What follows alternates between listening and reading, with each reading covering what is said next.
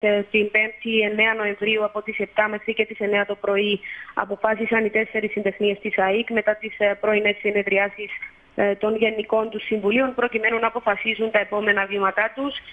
Τα μέτρα θα κλιμακωθούν την 5η 16 Νοεμβρίου όπου τα μέλη των ΕΠΟΠΑΗ, ΣΥΔΙΚΕΚ, ΣΕΜΠΑΙΚ και ΣΥΒΑΙΚ θα κατέλθουν σε 24 ώρια απεργία, ενώ προηγουμένως στις 3 Νοεμβρίου οι συντεχνίε θα προχωρήσουν σε ενημερωτικές εκδηλώσεις για τα μέλη τους. Υπενθυμίζεται ότι από την περασμένη εβδομάδα, στο πλαίσιο δημοσιογραφικής διάσκεψης, οι τέσσερις συντεχνίες της Αρχής Ηλεκτρισμού εξέφρασαν την ετοιμότητά τους να προχωρήσουν σε κλιμακωτά απεργιακά μέτρα.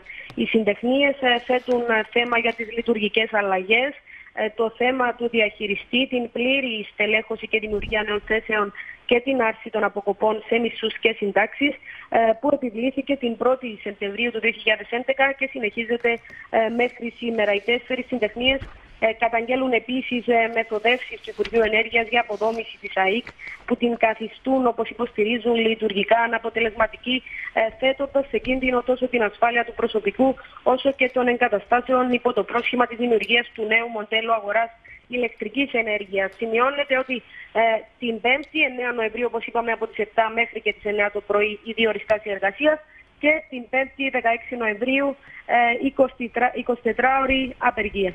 Λοιπόν, συνέχεια στο θέμα και μετά το δελτίο ειδήσεων, κυρίες και κύριοι, με εκπρόσωπο ε, μία εκ των ε, συνδικαλιστικών οργανώσεων. Ευχαριστήσουμε τη Μικαέλα Κουλέ για την ενημέρωση.